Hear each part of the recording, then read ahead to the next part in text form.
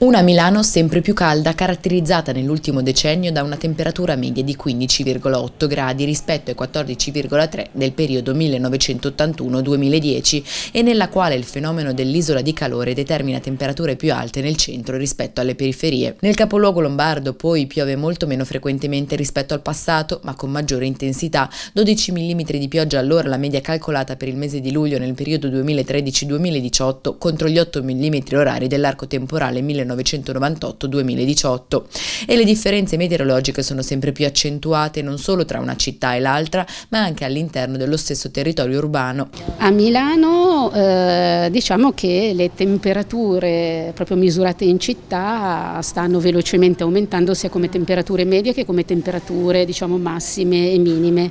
e la città non è omogenea dal punto di vista diciamo, delle, dei valori, delle, dei vari parametri tra cui la temperatura, che anche questo è importante per la pianificazione e per la progettazione, ma eh, a seconda degli indicatori ci sono forti differenze tra il centro, il nord, il sud, l'est e l'ovest della stessa città di Milano con conseguenze sui consumi energetici, eh, sul benessere percepito, sull'incidenza delle ondate di calore. E questo è quanto emerge dal database climatologico del primo anno del progetto Climami, climatologia per le attività professionali e l'adattamento ai cambiamenti climatici urbani nel milanese, promosso da Fondazione OMD Osservatorio Meteorologico Milano Duomo in collaborazione con la Fondazione Lombardia per l'Ambiente, la Fondazione Ordine degli Ingegneri e Fondazione Ordine degli Architetti, cofinanziato da Fondazione Cariplo. Noi riusciamo a utilizzare le conoscenze della meteorologia in funzione del cambiamento climatico esistente e previsto per la progettazione degli edifici e per la pianificazione urbanistica con criteri di sostenibilità e di resilienza.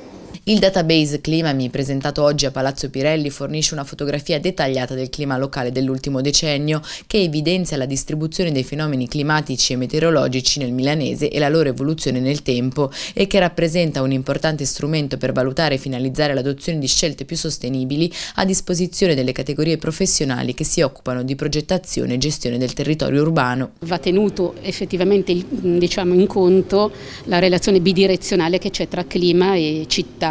eh, con l'aumentare dei fenomeni diciamo, di impatto del cambiamento climatico, in particolare eh, ondate di calore e mm, episodi intensi e brevi di precipitazioni che causano spesso gli allagamenti,